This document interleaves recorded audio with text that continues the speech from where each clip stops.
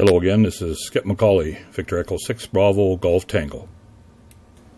I received a lot of emails, and people ask me quite often, what are all the monitors for in my shack? So I thought I'd uh, give a breakdown on this part of the operations here and how uh, the whole auto tracking for the moon and dish adjustment works.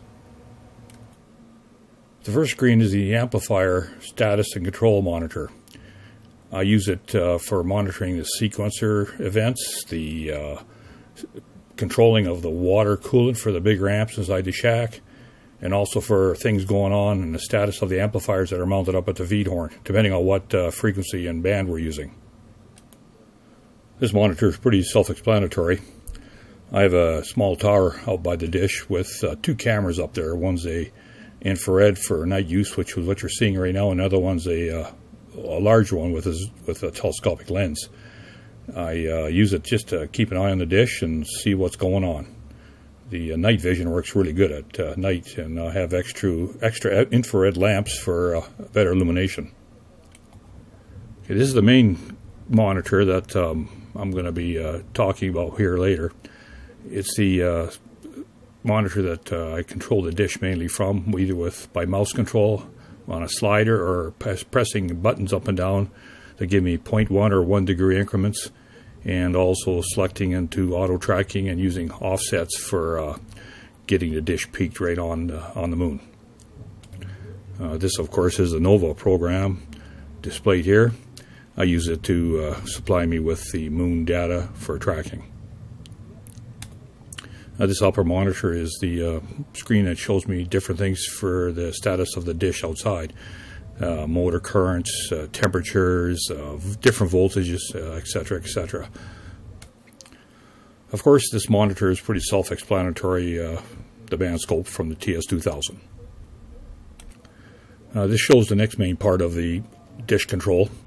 It is the EME dish shelf or the PIC shelf. Uh, you'll understand why I call it that because I'm a heavy user of PIC microcontrollers. Now from this panel I can move the dish manually. It's a little more cumbersome than using the uh, Visual Basic screen, but it's the uh, another way of doing it. It's from this panel here that uh, the inside control talks to the outside electrical enclosure where there is again more PIC microcontrollers. As you can see, there's a lot of cabling, uh, multiple serial cables coming and going. Uh, most of this also is for controlling and monitoring the amplifiers, which I'll talk about in some other video. This is a block diagram of the control system from the uh, Nova Tracking and Visual Basic computer through all the PICs to the outside electrical enclosure where the motors and the uh, position encoders are the positioning feedback for the azimuth drive off the new slew gear is this uh, castle tooth sprocket I built, which uses two proximity switches and uh, gives me a quadrature signal back. The elevation position is done by a 300 pulse per revolution quadrature encoder, which is connected to the elevation axis through a 3 to 1 chain ratio link. The way I come up with the number in degrees for these encoders is that I don't count each pulse. What I do is count the transition of each pulse. So in other words, the bottom of the pulse is count 1, the rise is count 2, the top is count 3, and then the fall is considered count 4. The encoder pulses are sent to the shack through a long cable and then fed through an LM311 voltage comparator for pulse shaping. This is then fed to the PIC 12F675 and all its job is to do is count these pulses and keep track of them and nothing else. The encoder on the slew gear works the same way. Only problem was with the uh, amount of turns the worm works with the revolution of the dish. Uh, to get a proper display, I have to divide the number by 1.133, which up gives me uh, a few extra decimal points. Of course, all these control wires and data lines go through uh, electrical enclosure box which is mounted at the dish. Inside this enclosure are two more PIC control boards. They take the control lines from the shack and convert it to serial data which gets fed to the two pulse width modulation boards which drive the motors for variable speeds. Other lines that go into these two control boards are the end stop switches to prevent the dish from traveling too far. There's one more PIC board in there, which takes all the uh, various voltages for uh, different circuits, the motor currents, uh, temperatures from inside the enclosure and outside the enclosure, and converted the serial data to be fed back to the shack for the data screen on the Visual Basic program. So next is to show you how it all works. This is the uh, picture of the main control screen. Uh, first thing you have to do is set up a few parameters and a setup part of it all. The first thing I select is the Nova Engage. What this does is connect the uh, DDE transfer from Nova into this program for the moon data. Next is the high-speed enable switch. Uh, this part of the function is controlled from this program. These other buttons set up the lead time for the high speed to engage either going to the target or leaving the target. And also the buttons for the lead time for when I hit the stop button for the motor to coast and not stop suddenly. This is the data screen. Nothing is displayed until the power is turned on to the enclosure outside at the dish. You'll notice that there is no preamp or preamp relay voltage displayed on the uh, status screen. Those switches are on the uh, control rack of the equipment themselves. I'll turn them on next. You'll see the uh, preamp voltage come on, and then the preamp relay voltage come on. So now it's time to show you how it all works. We'll uh, go back over to the main EME dish drive control screen and activate things. Next I take my mouse and move over to the elevation slider and move it over till I get a desired elevation of 31 degrees. By using the up by one degree buttons, I decided to move it up to desired elevation of 34 degrees.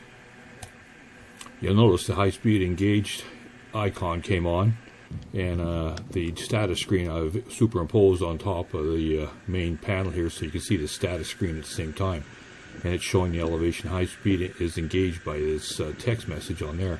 If you look up in the top left hand, you'll see the elevation motor is drawing roughly 2.2 amps. The dish representation in the drawing will increment up every 5 degrees as the uh, system is moving the dish up in real time.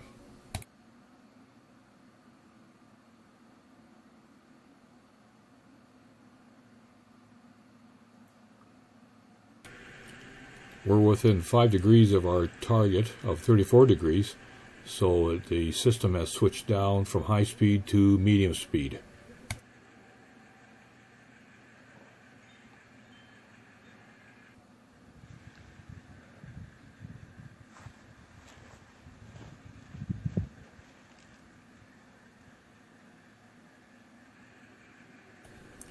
Now the dish is within 2 degrees of its target of 34 degrees and has switched to low speed.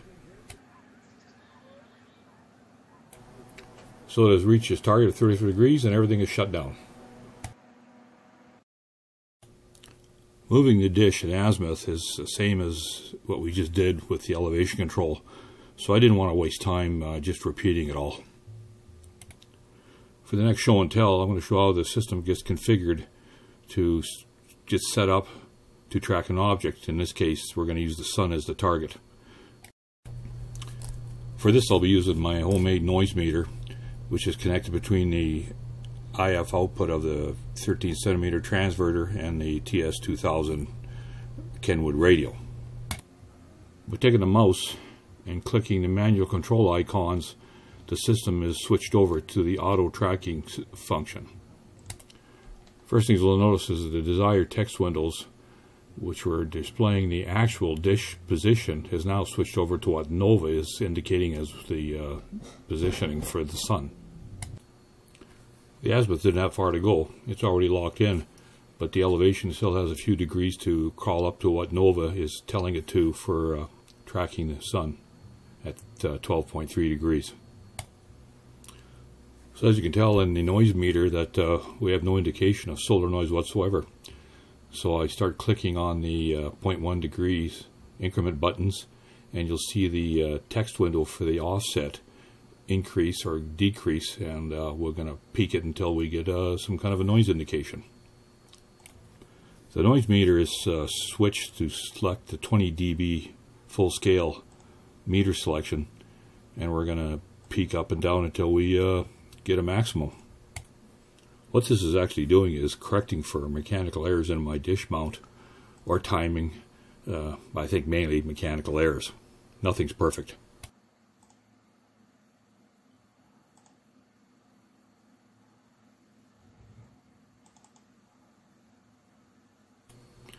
So the elevation is pretty well peaked. I'm going to tweak the uh, azimuth drive a little bit and see what we get.